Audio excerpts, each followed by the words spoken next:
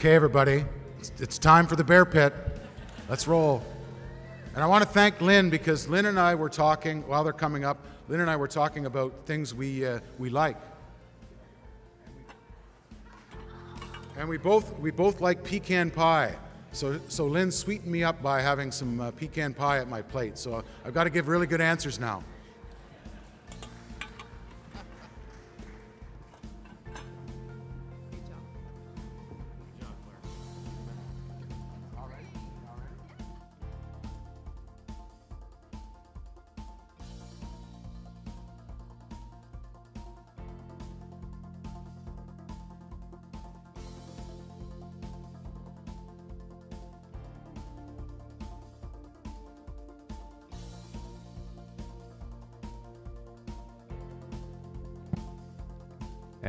Ladies and gentlemen, please welcome the moderator for the Ministers' Forum, Nigel Bellchamber.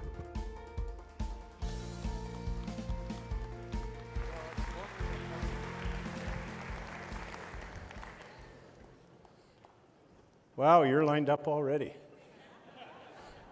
Good afternoon and welcome to the 2018 AMO Ministers Forum. This is an opportunity for elected officials to ask their elected counterparts in the provincial cabinet questions of general municipal interest. You note I said general municipal interest because there have been, as I understand it, yesterday, well, starting Sunday, yesterday, and tomorrow, and today, over 550 delegations. Those are opportunities for you to ask questions of specific local interest. So today, it's an opportunity to pose questions of general municipal interest to the ministers. Now, there's a number of basic rules, and I think most of you are familiar with them. You only get a chance to ask one question. It's not a two part or a three part question, no multi part questions. There will be no supplementaries. You can pose your question to one minister, and it's specific, not to the entire panel. It may be that a, the minister to whom you pose it needs to refer it to one of his or her colleagues on the panel because of uh, some specificity in terms of the issue, but uh, one minister only.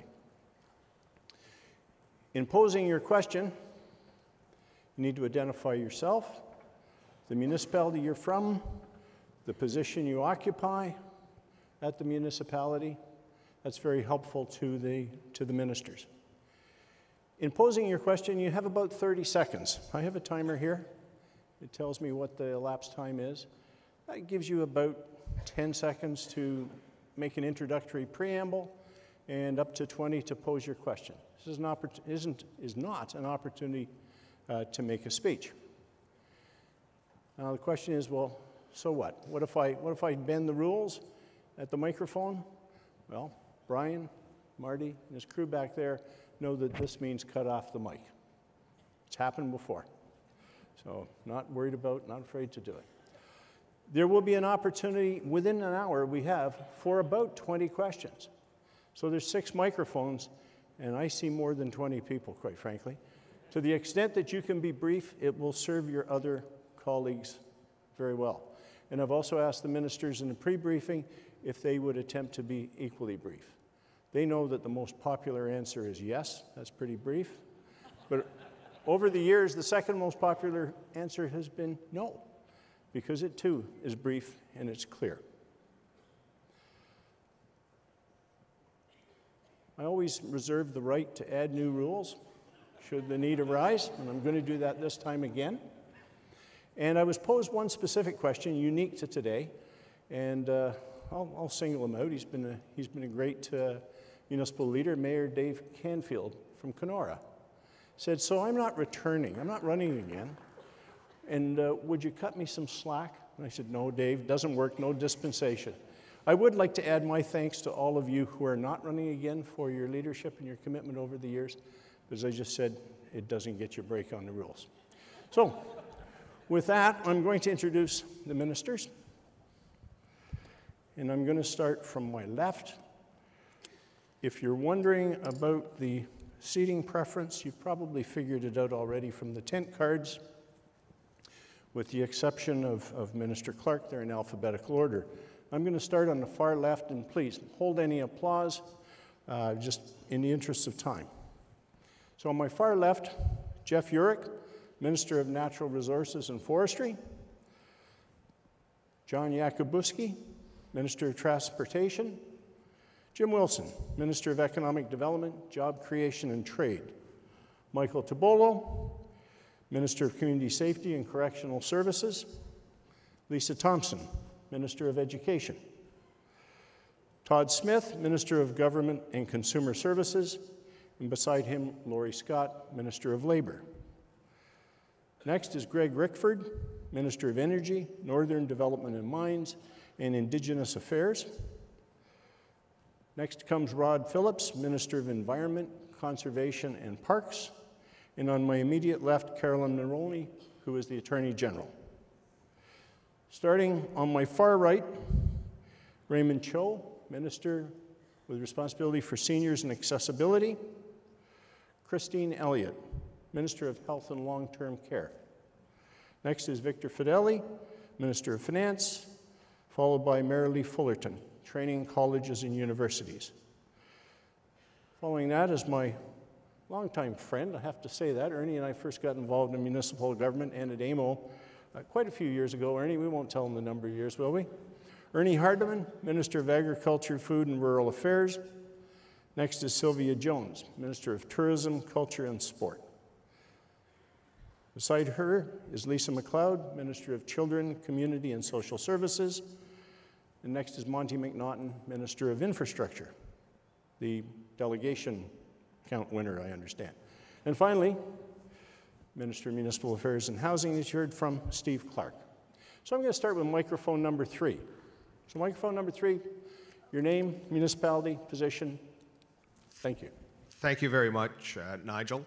Uh, it's Michael Donahue. I am uh, Mayor of Admaston Bromley Township in the uh, beautiful Ottawa Valley. Uh, I first wish to express my congratulations on a resounding electoral victory in the province of Ontario. Uh, to all of the ministers assembled, thank you very much. My question is for uh, the Honorable Caroline Mulroney, the Attorney General. Uh, bienvenue, welcome home, uh, back to your childhood home. Um, reasonable limits on joint and several liability are needed so municipal, municipalities can afford to allow activities like road hockey and tobogganing. This was written for ROMA, I didn't get to the microphone. Almost all other provinces have, resolu- have solutions in place to make sure municipalities are not used as deep pocket defendants in lawsuits and are held accountable in proportion to their actions. The perennial question, hopefully to end with this session Will the provincial government agree to put fair and reasonable limits on municipal liability? Thank you.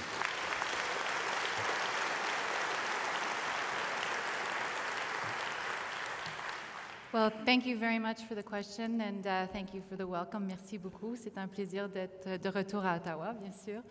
Um, uh, th- this, I know, has been an issue of concern at AMO for a very long time. Um, and I had the opportunity to meet with some delegations from Mississauga and from Limerick who raised it with me. And so we had a chance to discuss it, and I did advise them, uh, which I'm happy to report, that uh, we're looking at it uh, very closely. We understand how it, important it is for municipalities, uh, and so we are we're looking at it. We've been briefed on it, and look forward to uh, working closely with municipalities to help address their, your concerns. Thank you. Microphone number two, please. Thank you. My name is uh, Tony Van Bynen. I'm the Mayor Emeritus of the town of Newmarket. My question is to the Minister of Labour. Ontario needs to fix interest arbitration to make sure that police and firefighters get fair wage increases that the taxpayers can afford. If the government is expecting municipalities to manage salary increases within our own funding sources, we need legislative changes to move closer to recognizing our capacity to pay. We're not asking to establish an outcome, but only that it must be fully considered by the arbitrator to use as one criteria amongst many. So, are you willing to commit to adding this lens to the existing criteria list? Okay. Thank you. Minister Scott? Thank you very much. And uh, I heard about this uh, issue in almost every meeting that I had over the last couple of days, and it's a long-standing issue with our communities. Um, I appreciate the municipalities that actually brought forward uh, some suggestions um, for some changes that could be looked at. So I have directed uh, my ministry staff to look into uh, the issue and the suggestions that were brought forward so that we uh, can look at it and get back to you, for sure. Thank you, Minister. Microphone number one, please. Hi, my name is Mary Lloyd. I'm a counselor with Ward 5 in Wellington County. My ward is located on the banks of the Canadian Heritage Grand River that begins at the base of the Bruce Peninsula and travels through Dufferin, Wellington, Waterloo, Brant, Six Nations, and Haldimand and empties in Lake Erie. Currently, the province of Ontario is under a moratorium on the issuance of commercial water taking permits. That is set to expire in January 19. Currently, scientific studies are underway in the former ministries of environment and climate change and the natural resources. And this is to do with source water taking and the usage and needs. Today, municipalities do not have a priority on these licenses to take water. Commercial licenses are pending upon the issuance of this end of moratorium. And the question is Will the ministry please consider making municipalities' needs first and put the new licenses, which only pay $503.71 per million liters, on hold until full scientific research reviews can be completed, which may take up until 2023? Right. Minister? No, they turned them on back there, so they should be live as soon as they know it's your question. Sorry. Minister Phillips? Great. Thank you for the question. It was uh, certainly a topic of conversation. We're looking at all, um, all aspects of water, what we put into water, uh, how we take water, um, priorities for, for whom can take water. Uh, this was something that was, was raised uh, very directly by at least four of the delegations that we talked to. So, so you, can, you can expect uh, to, to hear from us on all of those topics and certainly understand the, um, the priority. I think uh, municipalities today are needing to think and are thinking into the future uh, in terms of what needs they may have for their own for their own uh, economic development as well as for, for rapidly growing residential populations, particularly in areas like yourself. So, so that is a, it's a priority from our perspective, and it was something that uh, I gained a lot of insight from, from the groups who saw me. So thank you for that. Okay. Thank you very much. Microphone number four, please. Hi, I'm Bert Liverance from the township of the Archipelago. It's the largest freshwater archipelago in the world on Georgian Bay. My question is for Minister Clark. There's an Ontario-wide issue that affects many municipalities, including Leeds, many ministries, including the MNR, MOT, MOE, and Ag and Food. The issue is Phragmites. It's an aggressive invasive species. Would you please consider taking this issue as the lead, taking this on as the lead ministry? We would be happy, as I mentioned in several delegations, to host uh, any interested parties who would like to participate. Okay. Minister Clark? Yeah, I'm going to defer to uh, the Minister of Environment, uh, Conservation and Parks. I'm, I'm, pleased to have the chance to, to talk about this. This again was something that was raised. Phragmites is a, there, there are both uh, elements of control that, um, again, we will, uh, we are looking into, but, but uh, tools that uh, have been used on a, on a pilot basis that, that I think can help a great deal and that, again, I heard about as well as uh, the prioritization of it. I agree with you, uh, by the way, it is a, it is a multi-ministry, um, multi-ministry concern um, because it overlaps, so I'll, I'll be happy to work with my ministerial colleagues on it, but, uh, but we understand both the, the, the, requirements in terms of, of the kind of tools, including the chemical tools that, that have been proven to work in other areas, and also the, uh, the need to work work collectively on this. It's a, it's a serious threat to our, uh, to our environment and our waterfront. Thank you, Minister. Microphone number five, please. Mayor David Canfield, the City of Kenora. First off, I want to congratulate all of you up there. Uh, and uh, this uh, question is going to go to the Minister of Finance, but it's actually going to go to the, to the whole cabinet. And I'm going to have to talk fast, so listen up and listen fast. For the last 25, 30 years, the upper levels of government have downloaded their debt problems to municipalities. Now, we see a ray of hope with the way you're talking, but I'm not talking about the Rae days, and I'm not talking about the transfer downloads back in the early 90s. I'm not talking about all the 4,000 kilometers of highways and the thousands of bridges that were downloaded in the late 1997 and on. And I'm not talking about in the 2000s the supposed upload that was sometimes good, sometimes bad. And I'm also not talking about some things you've already heard about, about the bad rules and standards and regulations that have been brought into this province over the last 25, 30 years, like Bill 148, which is killing us. And your question, The Mr. new Mayor. fire standards, failures to address interest arbitration, joint and several liability, and the minimum maintenance standard for sidewalk. The question, ministers, cabinet, will you commit to no more downloads to the municipalities of Ontario that are already blessed with the highest municipal property taxes in Canada? Okay, thank you.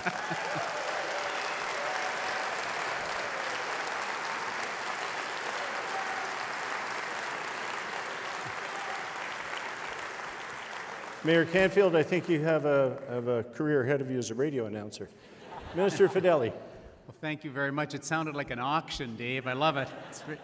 Uh, I have uh, one word for you, uh, Dave, and that's relief. That's the message that we heard our Premier Doug Ford and our entire uh, uh, scope of candidates tell, uh, talk to the people of Ontario over this last election period. And I think you've seen it already by canceling cap and trade. We put $260 back in the pockets of families. Uh, 4.3 cents will come off the price of gas. We plan on reducing gas. You'll, you'll see my theme uh, very quickly, uh, Mayor Canfield. Uh, 12% reduction coming in the uh, off of uh, hydro rates.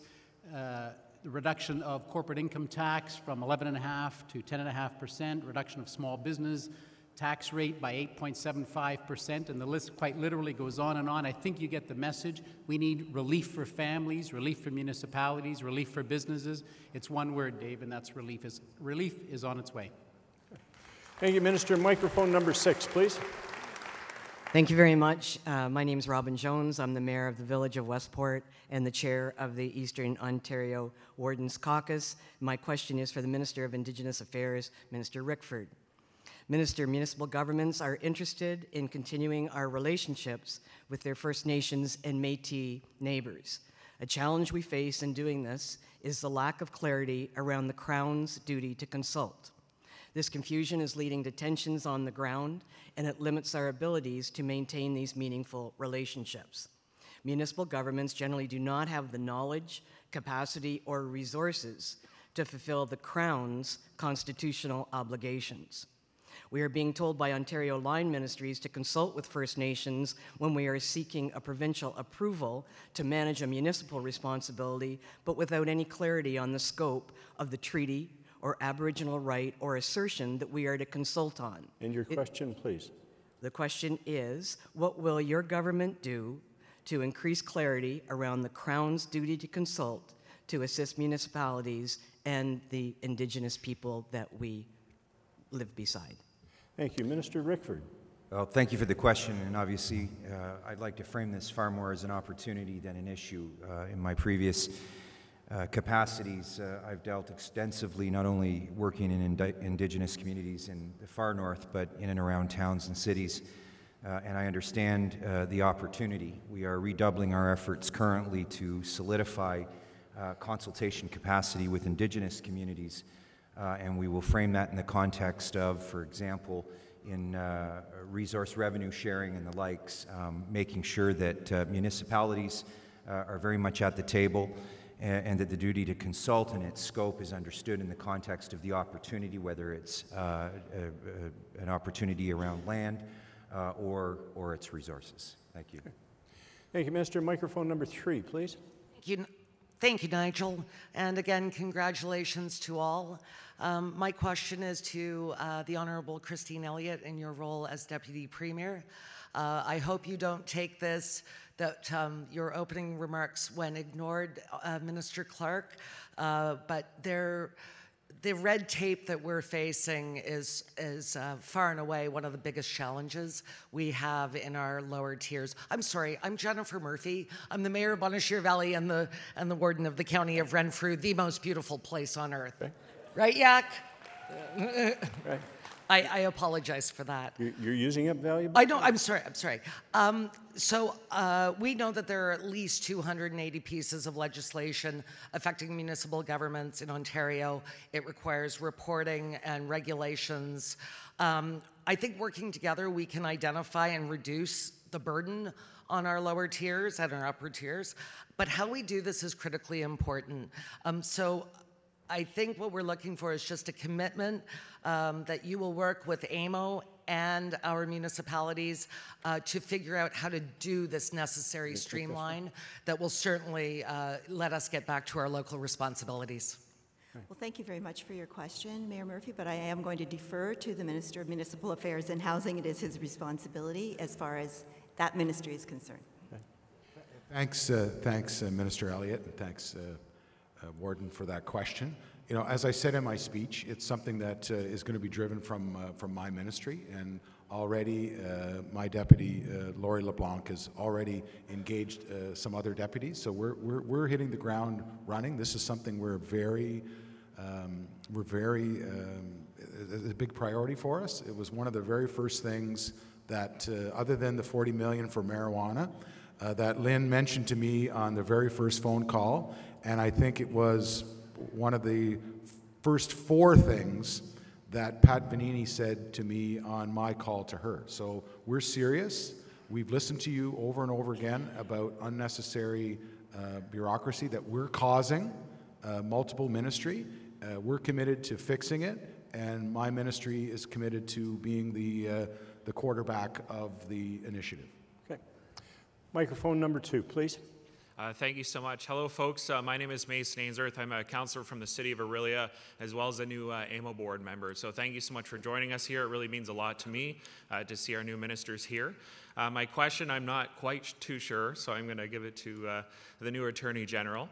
And so recently, AMO has changed directions from disaster relief to youth engagement. We've seen issues with, you know, the lack of youth voting, the lack of education in our schools in regards to local uh, government as well as provincial and federal government and getting folks engaged not only you know in the work system working as a staff uh, but also running as candidates so i'm just curious what you folks are looking towards uh, as a solution for that in the future or maybe some steps uh, to get youth more engaged uh, I'll defer the question, refer the question to uh, my seatmate in the legislature, Minister MacLeod. Minister MacLeod? No, oh, it's okay. Thank you very much. Thanks for the question. I happen to be Minister of Children and Youth for the province of Ontario, uh, in addition to Community and Social Services, Women, um, basic, uh, sorry, the uh, Poverty Reduction Strategy, and Citizenship and Immigration. So one of the things that we want to do is build a, a process uh, with our municipalities, but certainly with our education system, with the Minister of Education, um, to work with youth at risk and youth in our justice system and youth and in, in, in our uh, care facilities across Ontario. Um, that work is being done right now. We have a, a, singular focus on making sure that there are opportunities for those youth. Um, some, in some of the delegations, many of these questions have, have been spoken about, uh, but we're looking really at uh, bringing forward a, much more of a mentorship mold than has been done in previous years. But there's a lot of exciting work that's being done, and I'll be working with the ministers of uh, community safety as well as the Attorney General in the next phase of our guns and gangs. Um, rollout, uh, predominantly for children who are at risk and children who are in the justice system. So I'm happy to work with you further on that, and we're all ears to listen to new ideas that you may have in your communities. Uh, we don't believe in a one size fits all. Thank you, Minister. Microphone number one, please. Thank you. My name's Kathy Downer. I'm a city councillor in the city of Guelph, which I thought was the most beautiful place in Ontario. Clearly, many of us will make that claim, I'm sure. So my question is to the Minister of Municipal Affairs and Housing, Steve Clark. Uh, we know that the OMB was expensive, drawn out, and shifted planning decisions from local people to a legal process. Will this government commit to keeping the local planning appeals tribunal in place for at least a few years to evaluate if this process better respects local decisions? Minister Clark. Well, thanks, thanks very much for the question. I'll try to be short because uh, we, we came to this conference wanting to hear from our municipal partners about our, our planning system, and you're not the first person this hour who has recommended that we, we let things go and, and, and see how the new system works. So I'm very mindful that that's been a common uh, suggestion to our government since I literally walked in the door. It's like every hour on the hour, I've had this uh, suggestion uh, by municipalities. So that's, that's where my head is right now. Thank you. Microphone number four, please. Thank you, Nigel, and I want to congratulate the new government and the cabinet. Congratulations, everyone. My name is Allan Thompson. I'm the Mayor of Caledon. My question is to the Minister of Labour, Laurie Scott, concerning double hatters. Will the province commit to helping us stop the union harassment of volunteer fighter fighters who want to serve in the community uh, for their, on their own time? And by providing legislative protection for our double hatters like other North American jurisdictions.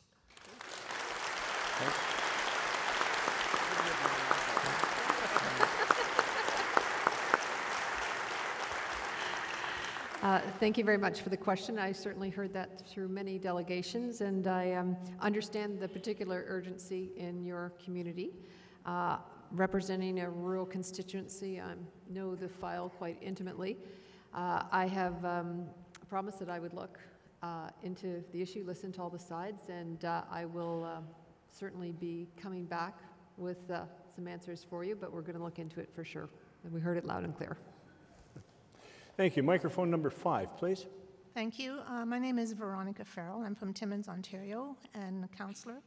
I'm also on the board of directors for community living in Timmins. I have a daughter who is also on disability. Um, our clients received a letter in the spring that they were having a 3% increase on their checks. This will be for Mr. Fedeli. Okay. Um, now they find out they're going to be decreased to 1.5%. They've got a decrease. My, my question, I think, is why is it more important to have a dollar beer than to have food on the table for our disab- disabled people? Okay.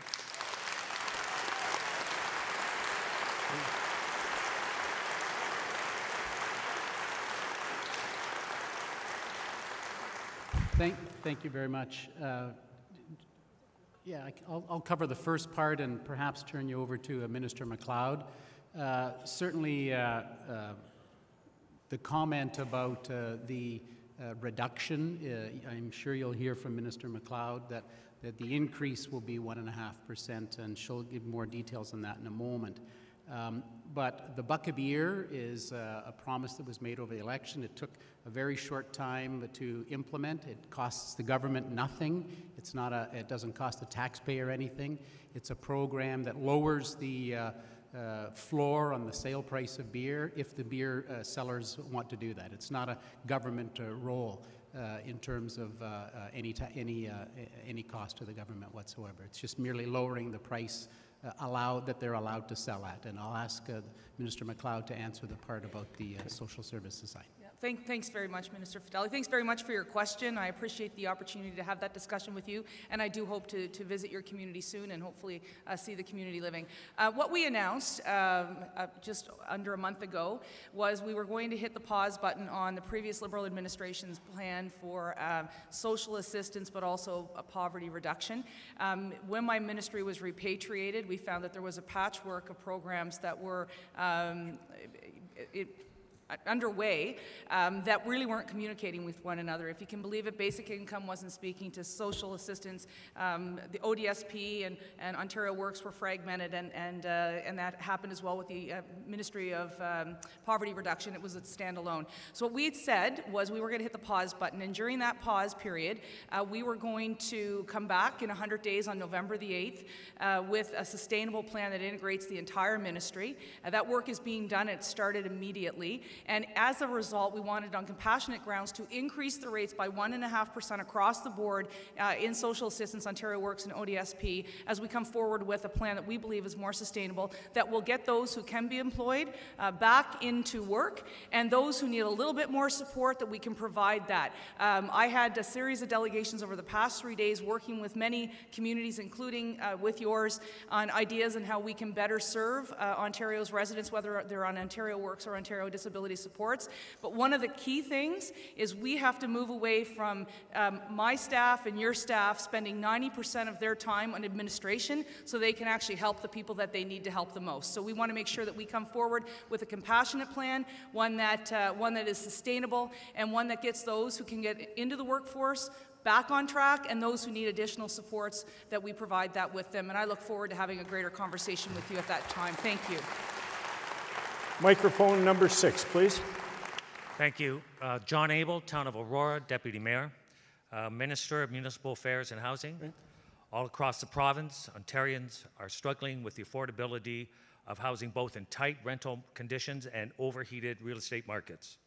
There are opportunities to leverage uh, federal investments through the National Housing Strategy, and for AMO and municipal governments to work with your ministry and the private sector to build more affordable housing supply.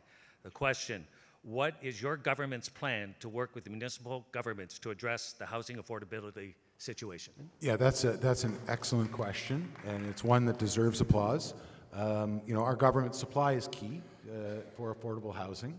Uh, we're certainly pleased with the renewed commitment from the federal government on the housing file.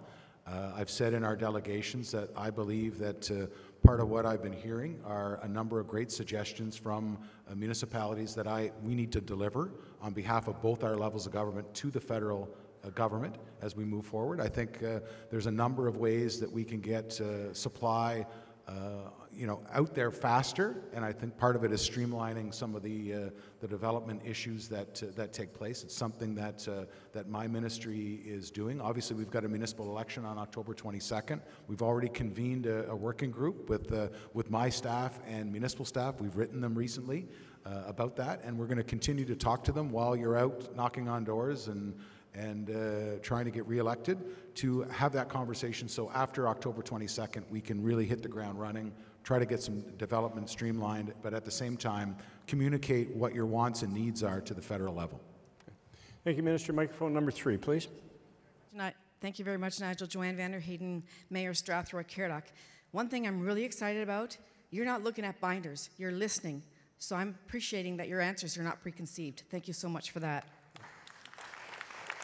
Rural hospitals are a tremendous asset and serve a critical role in our communities. Current, current funding formula is volume based, as you know, and awards larger geographic areas that are growing while not recognizing structural issues that are inherent in me medium sized hospitals. Adequate funding and stable working capital are immediately needed to safeguard local frontline health care services, local employment, and capacity throughout the system. This question goes to the Honorable Christine Elliott. Could you please revisit the funding formula so our hospitals in small urban and rural Ontario can continue their role serving our residents?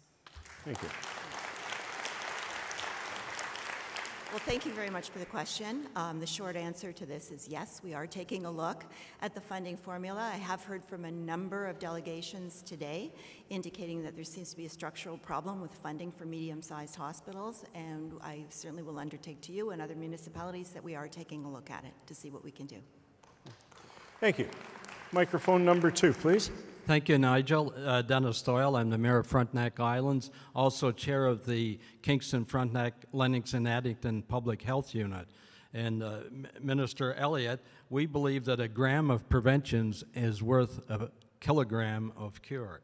Uh, during the uh, past 10, or during the 10 years between 2004 to 13, 22% of Ontario healthcare costs was spent as a result of four unhealthy behaviors poor eating habits, physical inactivity, tobacco, and alcohol abuse.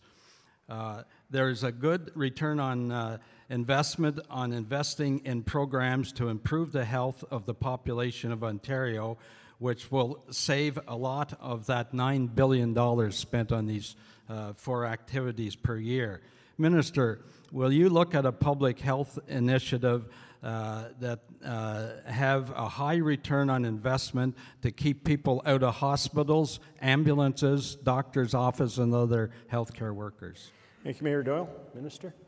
Well, thank you very much for the question, and I do agree with you. I think what we always want to do is to um, put a greater emphasis on uh, wellness people, preventing people from getting ill to be healthier.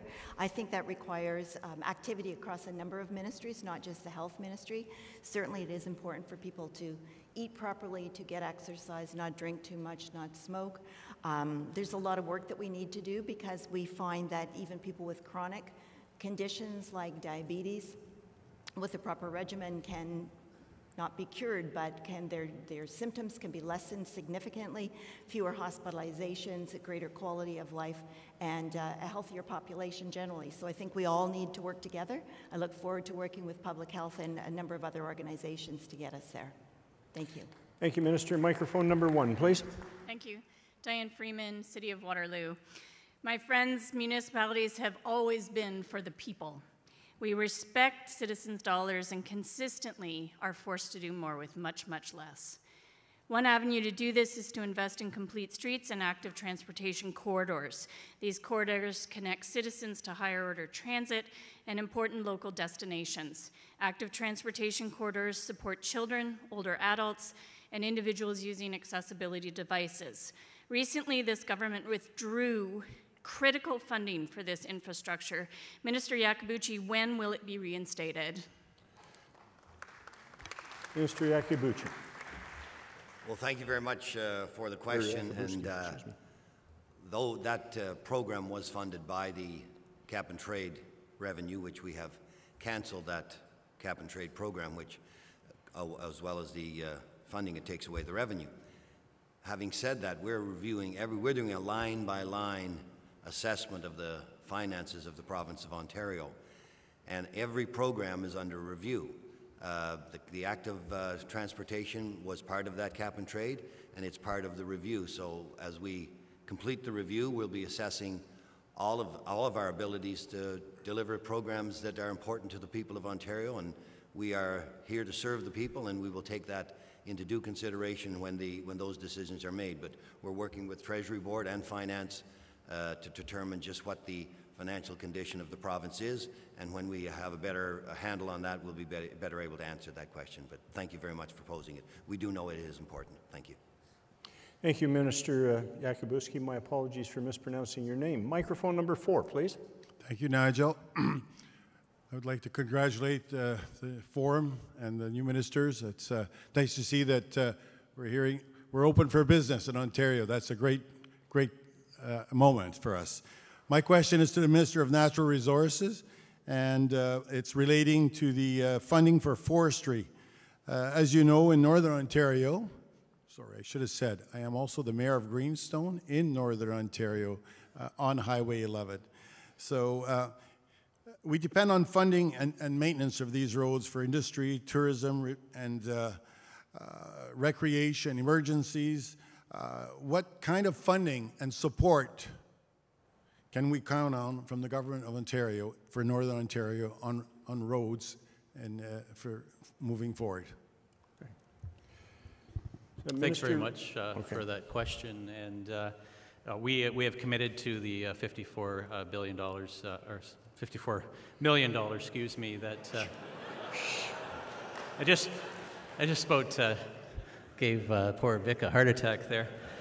$54 million that was budgeted last year for forestry roads. We understand the importance uh, of uh, the forestry roads, not only for the forestry industry, but as you said, it, not only for road safety. Uh, when the fires that are going on in Northern Ontario, they use those access roads, the tourism, uh, people's recreational enjoyment. We, we get that, and we want to build on, on a solution that's good for the forestry industry and, and Northern Ontario as a whole. We're committed to that $54 million this year, and we're committed to working with the industry uh, to look forward to continued funding to how we build and develop the economy in Northern Ontario, and forestry is going to play a key role in that. Thank you very much. And before I go to microphone number five, I just want to remind everyone your name, your municipality, your position, and the minister to whom you wish to address your question. I know you're all very keen on your questions, but uh, it makes it easier for everybody involved if you can remember your name, your municipality, your position, and the minister to whom you wish to address your question. Microphone number five, please. Hello, I'm Kelly Elliott. I am a councillor in the municipality of Thames Centre. My question goes to the Minister of Transportation. Perfect. The high speed rail uh, proposed um, route has detrimental impacts to the rural communities that it travels through, as well as the surrounding areas. Will you commit to including alternatives to the current high-speed rail proposal in the environmental assessment, as well as consulting with rural municipalities and agricultural stakeholders? Okay. Minister? Well, thank you very much uh, for the question, and we had a chance to uh, meet earlier this uh, week on Sunday to talk about that very issue. Uh, we are committed to the assessment and the analyzing uh, the potential of high-speed rail. It's something that uh, we would be, uh, I think, wrong not to follow through to do the study. Uh, but we also have found that there are differing views on what kind of um, what services are needed uh, through some of the areas, particularly some of the, the rural areas. And we are certainly cognizant of the uh, concerns of, of those communities, and we articulated that uh, in our meetings with those communities on the weekend. And we will be certainly taking all of those into consideration There's no decision has been made, and there ha- and the case will have to be made that there's a demand for it and it can be successful. Uh, We're not there yet, uh, but before that decision is made, I can assure you that the views of those communities affected will be taken into due consideration, and thank you very much for the question. Thank you. Minister, microphone number six, please. Thank you very much, Nigel. I'm Graydon Smith, the mayor of the town of Bracebridge, uh, OSUM chair, and a proud AMO board member. And my question is for Minister Elliott. And first of all, I'd say I support Mayor Vanderheyden's comments 1,000%, Minister. And we talked about that today about the problem with medium-sized hospitals. And the hospital on Ann Street in Bracebridge cannot compete with a hospital on University Avenue with the same funding formula. But there's a longer term issue with hospitals in terms of capital builds and the amount that communities are expected to provide uh, under the 10% share program um, that the province currently expects. In our case, it's more like 24%, which is over $120 million in Muskoka that we would have to come up with as a community share. And the reality is that means taxation. That means going to our taxpayers and taking money that we could otherwise be using for activities that we're actually mandated to do and infrastructure that we know we need to build and repair. Uh, but instead, we have to divert it towards the healthcare system. So Graydon, we need to talk, turn this So- into a general application Absolutely. question, if you could. Well, it is a general application question because communities throughout Ontario will face exactly the same thing when they have a major community build. So I'm asking you, Minister, uh, will you commit to capping that community share at 10% or eliminating it altogether so communities can get on with the regular business that they have to do instead of funding the healthcare system? Thank you.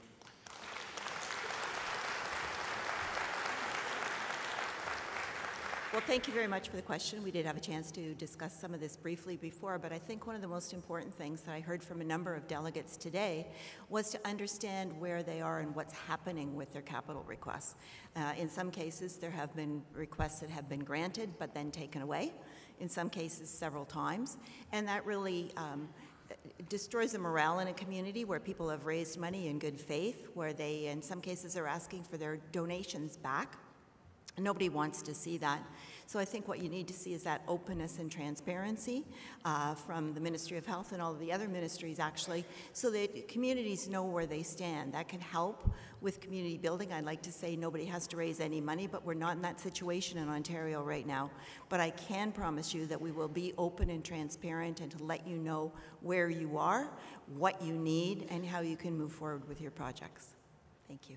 Thank you, Minister. Microphone number three, please. Hi, I'm Marcus Ryan, a councillor in the Township of Zorra, doing our part in Oxford County. My question is for the Minister of Education. With a continued moratorium on school closures, is it the minister's intention to restart a review of the pupil accommodation review guideline or to continue the work and complete the implementation of the pupil accommodation review guideline that was released in April? Thank you, Minister Thompson. Thank you very much for that question, and it was a pleasure to meet with you earlier today. And what we want to do is make sure that we utilize the resources and the efforts that have been made to date and work with our ministry officials to make sure that we get it right.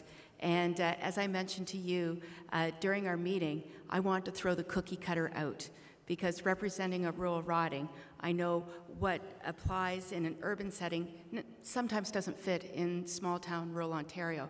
And so, with that, we are going to work with our ministry officials, as I mentioned, and make sure that when we move forward, we're going to be moving forward in a thoughtful manner that reflects on where, where we have gotten to date and where we need to go forward to address the issues as they come forward to us. And again, I can't stress enough, as I mentioned earlier this morning, we want to be working with you in terms of the School Alliance and municipalities because we recognize the importance that schools play in the overall economic consideration of our municipalities. So thanks very much for that question. Thank you. Microphone number two, please. Good afternoon. Uh, Vicky Leakey, Councillor for the Township of Leeds, Thousand Islands. This will be a question for Minister Clark, uh, Ministry of Affairs and Housing. Um, and I'm kind of, I'm going to tackle this on affordable housing where ha- would the ministries consider, I'm, I'm going to age myself. There was a program called the Ontario Home Renewal Program. There are many, many residents that need septic systems, new roofs. Now that the rebate on energy efficient um, renovations is gone, these these are not like low low income, but they need help to stay in their home. And I know it's not a new build, so it may not be as pretty a picture, but is there any opportunity for bringing these programs back that will allow people to do costly repairs in their home with some grant and some loan capacity? Okay. Thank you very much. Minister? Well, thanks, uh, thanks, Vicki, for the question. And uh, certainly during the campaign, we talked about reducing the burden for taxpayers. One of the things that was very mindful for homeowners was our commitment to reduce hydro bills by 12% because we heard quite clearly from people that they wanted a break. They wanted to be able to have some reduction so that they could stay in their homes. You know, I, have had a lot of suggestions of, uh, on the housing side. Uh, mostly on the public housing side, on, on, with our you know suggestions for our local service managers and our Indigenous program administrators. You know, I mentioned the federal government, and you know I'm not sure um, you know whether that could be part of the discussion. Uh, although I know previous uh, federal governments have looked at, at that, I remember Minister uh, Flaherty with the with the program that you know I think did a number of uh, improvements. Certainly, you know, I, I used the the program, the federal program, when it was available on on my home. Uh, and I know many others in my neighborhood did. So, you know, if you've got some suggestions, again, it, uh, I'd be more than happy to, to entertain them, more than happy to discuss them at the federal level as well. So shoot them over and we'll have a discussion with our, with our colleagues. Thank you very much. Minister, microphone number one, please. Hello, my name is Julia Rowe. I'm a councillor with the municipality of Wawa. My question will be for the Honourable Lisa Thompson. We have been talking about the fact that youth engagement is a focus of AMO, and we also have another issue um, pressing with the new cannabis le legislation.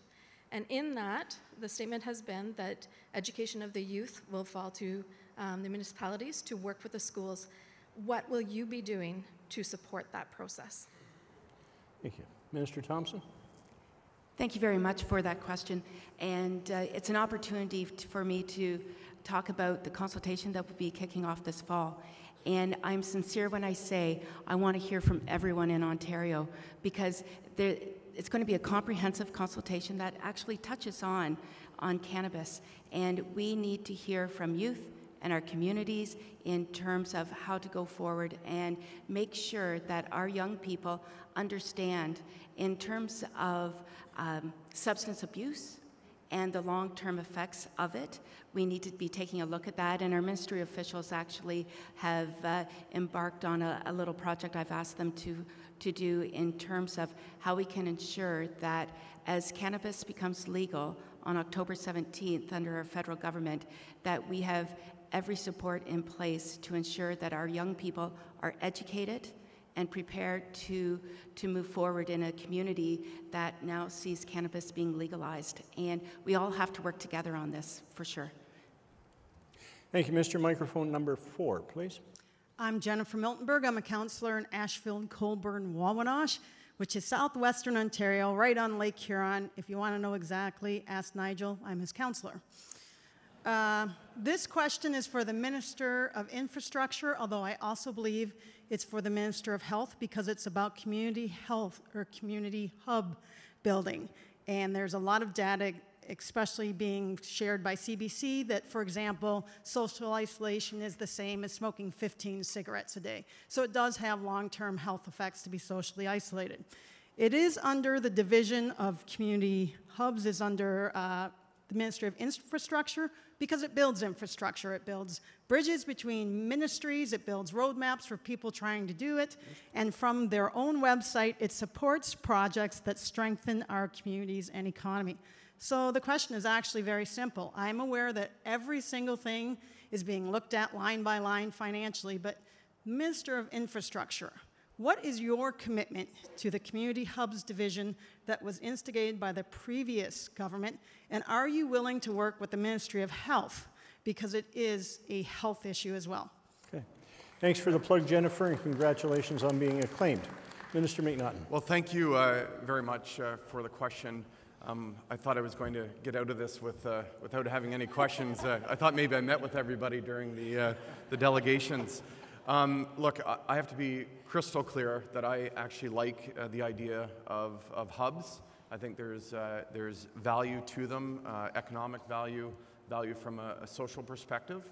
Um, we are, as you said, doing a line-by-line uh, review right across uh, government, and uh, in the fall we will be laying out uh, clearly the federal provincial uh, infrastructure uh, program uh, for municipalities uh, in Ontario between the federal, provincial, and municipal uh, funding partnership. It'll be uh, $30 billion over the next uh, 10 years. And uh, I think there'll be an element in there uh, for uh, possible funding for uh, that type of concept. And I look forward to working with all municipalities uh, on that in the time ahead. Thank you very much. Microphone number five, please. Thank you. Nicole Fortier Levesque, a municipality councillor uh, in the municipality of Moonbeam, Northern Ontario. Um, my question is directed to uh, uh, Minister uh, Elliott. Um, it has been proven that um, francophones and um, indigenous people uh, have uh, don't have health are not as healthy as the rest of the population, and uh, I'm wondering um, what is your plan to ensure that uh, francophones and indigenous people receive um, the services they deserve? Thank you very much for the question. It is a really important one, one that I uh, worked on my, during my previous tenure at Queen's Park and one I worked on during my time as patient ombudsman as well. I concentrated on uh, Francophone populations at first because I understood that people were not able to receive services in their first language, and that becomes particularly important with respect to seniors care as well as for mental health and addiction counseling, where it's really important to have that effective, meaningful communication. So we need to make sure that we concentrate our efforts to make sure that everyone in Ontario has access to high quality health services. So I think we need to work with uh, francophone populations and the Réseau du Service de Santé en français to make sure that we can make sure that the services are distributed appropriately across the province. As far as services for um, Indigenous people, there's no question that the services are not of the same standard in many cases, particularly in uh, northern uh, fly-in communities, for example, where there's a, um, a bit of a, a, a divide between federal and provincial responsibilities. It's the federal government that is responsible for the, uh, for the nursing stations, but of course they're our ambulance services and the hospital services are provincially run. So I think that we need to um, really work on our relationship with the federal government to make sure that uh, there is no gap in those services and to make sure that the nursing stations are appropriately served with the um, services and requirements that they need. You may have heard of a five-year-old child who died from strep throat in one of the uh, northern communities because they didn't have basic antibiotics. That shouldn't be happening in Ontario, and that's something that I intend to turn my attention to. So thank you very much for the question. Thank you, Minister. Microphone number six, please. Well, thank you, Nigel. Uh, Rick Maloney, uh, Councillor and Deputy Mayor for the town of Bracebridge, found in the heart of Muskoka, and also uh, the only uh, AMO member municipality that can boast that they have Santa Claus as a seasonal part-time resident. Okay. In that, uh, keeping with that, uh, uh, Santa Claus and the spirit of giving, uh, my question is to uh, is to the Minister of Infrastructure, Minister McNaughton.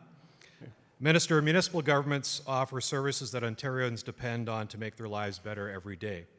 To make sure we can continue to deliver these services, we need to know how the government will work with us on infrastructure funding. Can you tell us how you plan to support local infrastructure and when you'll when will our communities be able to access federal infrastructure funding under phase two of investing in, in Canada Plan? Great. Thank you uh, very much. Yes, it's, it's worth a clap. Um, uh, obviously, this has been um, a, a, very uh, important topic of discussion uh, the last couple of days. Um, it is uh, priority number one uh, for me as, as Minister of Infrastructure. Our, our Premier has been clear that we are going to invest um, you know, in transit, roads, bridges, and uh, broadband and natural gas uh, across the province. And uh, uh at some point uh, in the fall, we will be uh, releasing the details of the federal provincial infrastructure program. There'll be four streams the, the transit stream, the green stream, which is water, wastewater, um, and, and some others. There'll be the community and recreation portion, and then lastly, there'll be rural and northern uh, uh, chunk of money uh, for uh, those projects. So we uh, listened to municipalities the last couple of days to ask which uh, stream would be their priority uh, to release uh, first because as all municipalities know, we can't do all four streams at once. It would uh, be overwhelming for municipalities and for us uh, as a province. Um, but I will be uh, continuing to uh, work with municipalities to find out what their priorities are. And uh, I guaranteed everyone that I met that we're going to work together and, and get this right. Thank you, Mr. Microphone number three, please. Uh, thank you, Nigel. My name is Jack Heath. I'm the Deputy Mayor of Markham. But for the purpose of this question, I'm more importantly Regional Councillor in the region of York. Uh, both municipalities are leaders in waste diversion in Ontario and in Canada. And so my question is for Minister Phillips. He has a new uh, ministry title, Environment, Conservation and Parks. And I want to come uh, congratulate the government and yourself for, for that combination. My question is, uh, will you commit to transition the Blue Box program to full producer responsibility at an accelerated pace to take this unfair burden off property taxpayers? Minister Phillips. For, for um, and I know everybody in the room here is familiar with cabinet making, so I can't take any credit for the job title. That's, that's, but, um, but thank you, and I do think it's a, it's a good combination of responsibilities. Um, this is one of the files. It's on the top of the pile uh, on uh, on my desk. Obviously, uh, there was um, plans being made, and, and I think a lot of it was held up by the by the previous government. Municipal leaders have been exceptionally clear uh, over the last couple days about their preferences. You will appreciate that producers uh, are, are fairly clear as well. I was commenting to one of your colleagues that, uh, in one of the delegations. Um, I have a feeling that both sides went back to their corners, whatever conversations had, had happened before. Uh, suddenly, everybody's um, a, we, a distance apart. Um, this, this diversion issue is, is critical, as all of you know, for a number of reasons. Um, when it comes to, uh, to the, what we're putting in landfills, if we want to correct for that, if we want to um, manage that waste better, then we need to be diverting more. Um, primarily, that's going to come down to uh, producers needing to look at how, uh, what they produce, how they produce it, and, and taking responsibility and accountability for the full life cycle. Uh, the exact timing on that, as, as many pointed out in the meeting, the 2023 deadline, or the, yeah, 2023 um, is awfully soon. Uh, so, um, so it's, it's, um, we will we'll be addressing it in the near term, um, but we'll be addressing it in consultation with all of you. I know it's, um, I know it's a, a question that a number of municipalities made clear they're looking at making investments right now. Um, they'd like to know, you know, sooner than later uh, what our timing is, and, and we'll commit to uh, we'll commit to moving quickly to, to resolve it. But it is a it is a conversation, and it's a conversation that uh, we'll have to take a leadership role in, but that AMO and others will be very involved in. Thank you, Minister. Microphone number two, please. Thank you. Uh, Lynn Overton from Grey Highlands, which is God's country, and neighbours of the Honourable James Wilson. My question is I've been waiting and hoping to hear something about the PSA um, and what, what this government's uh, thoughts on the PSA are, and can we fix it? Because it needs fixing. Your question is to which minister? Whoever wants to speak to the PSA. It may be that no one wishes to speak to. Is there anyone? I'm serious. I'm serious. It, it's, yeah. Okay, Minister The Tibollo? Police Services Act, for those that are asking. That's what you, yeah, just increase it. Sorry. Okay. Okay. Yeah. Minister Tibollo? Hi. Um, Yes, what we're doing is we're undertaking a review in terms of uh, looking at the various uh, provisions and uh, what regulations will be developed under it, and we are consulting with all stakeholders. So that is a process that we've undertaken and will continue, um, so that we do listen and provide proper uh, consultation and proper provisions to assist both the police and also the enforcement. Okay. Thank you very much. Microphone number one, please. Uh, Thank you. My name is Sue Foxton. I'm the mayor of North Dumfries, regional councillor for Waterloo Region. Also on the sit on the Grand River Conservation Authority. My issue touches housing, health, education, police services, emergency services. And the minister who, to whom you'd like to address your question. Whichever one would like to answer first. The issue is that we have an increase of mentally ill on our streets. We have an increase in people seeking housing. and now we have an opioid crisis. 4,000 people in the last year have died of drug overdose. Last week, seven in one night. We don't have a solution yet. I don't think we do. I don't, myself, I don't believe safe injection sites is the correction. But we need a solution. And we need you all to put your brains together because time is running out for people every single day. And we need your help and we need your support. And I seriously hope you look at it seriously and hard because time is running out. By the way, North Dumfries may not be the most beautiful, but it is wonderful. Okay. And the heart, people have hearts of gold. Okay. Okay. Question to the Minister of Health. Thank you. I, I think I'll take a first uh, start at this question because it is important to uh, municipalities all across the province. We know that we have a serious opioid issue. We have serious mental health and addictions issues. That is one of the reasons why we made a campaign promise during the election that we were prepared to spend $3.8 billion over 10 years to develop a comprehensive mental health and addiction strategy. That's 1.9 billion from the provincial government to match the 1.9 billion coming from the federal government. And it's not any one ministry. It's not just in the Ministry of Health. It's in probably about 12 different ministries.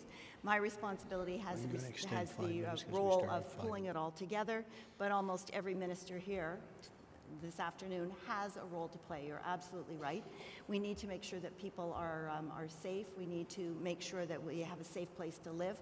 Part of our mental health and addiction strategy will include housing solutions, and we're looking for innovative solutions that will um, serve people in the way they need to, because we know there are thousands of people I'll- that don't have gonna announce it. spaces to live.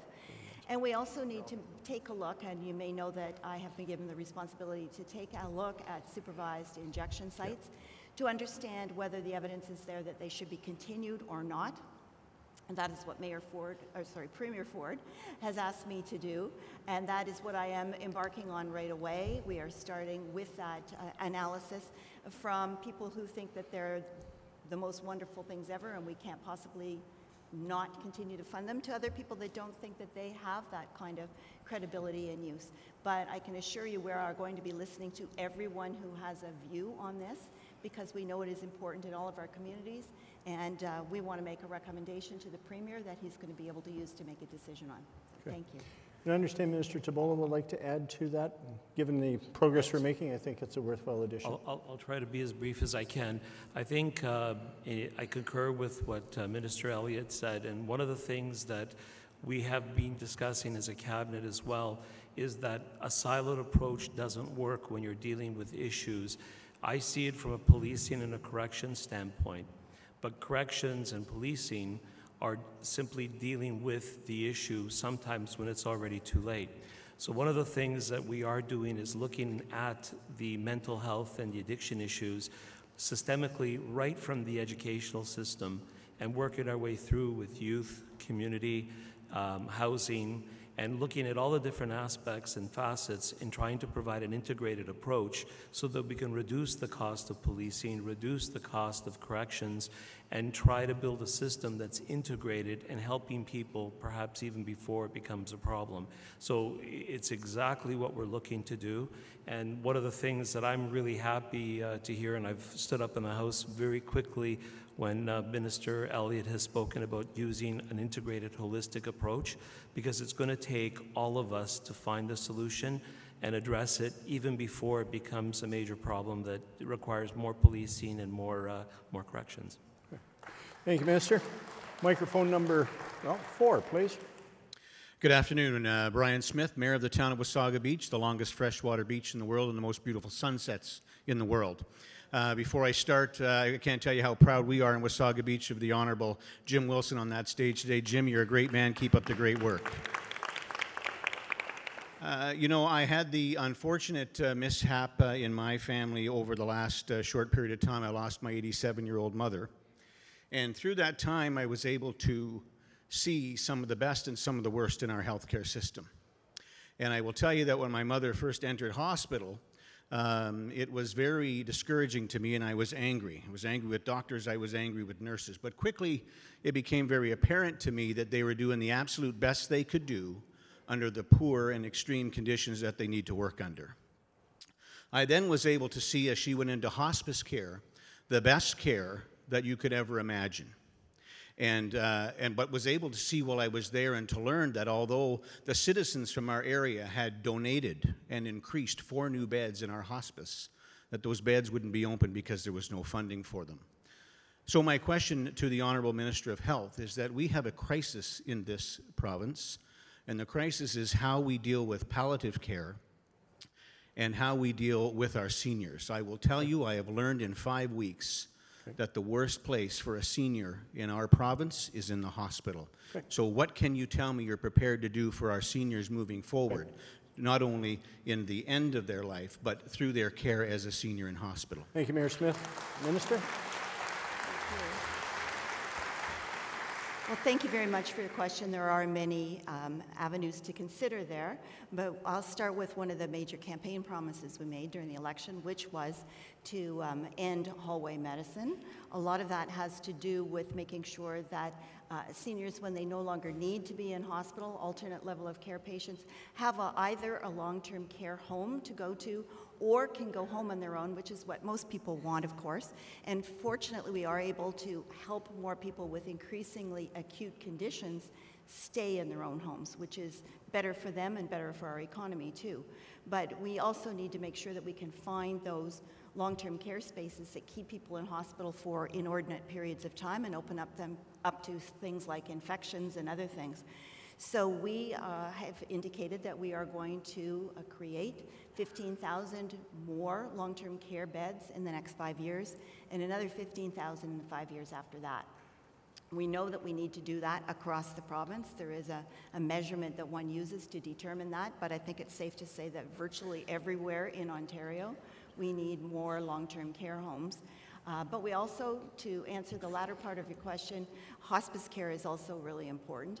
And I know that there have been hospices that have been opened up in a number of communities, including in my own riding of Newmarket Aurora, and they've seen several others that are really providing excellent quality care to people at a, the most difficult time in their lives and very difficult for their families too.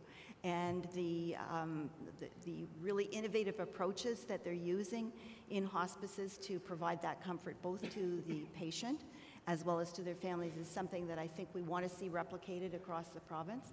And I would like to see us be able to expand it. I understand there's some projects in the works right now that we would like to see continued. So I think that we need to continue to do that to provide more quality care for seniors. The other issue that I think I'll just close on is the, um, the Wettlaufer examination that's going on right now. Um, I am waiting uh, when the, uh, the inquiry has been completed to hear from the uh, group about what recommendations are going to be made with respect to specific care in long-term care homes other than medication and so on, dispensing of medication. I think there will be some uh, recommendations that we will all need to pay attention to. So there's a lot of work that we need to do on a lot of fronts, but I thank you very much for raising the question. Okay. Thank you, Minister. You'll notice, those of you who are checking your watches or phones, that we are about five minutes, almost five minutes past our scheduled stop time. That's because we started about five minutes late. So our last question, we'll go to microphone number five, and that'll be our last question. Thank you very much. Uh, I'd say the cliche, save the best to last, but I best not, because the people at the other microphones may not agree.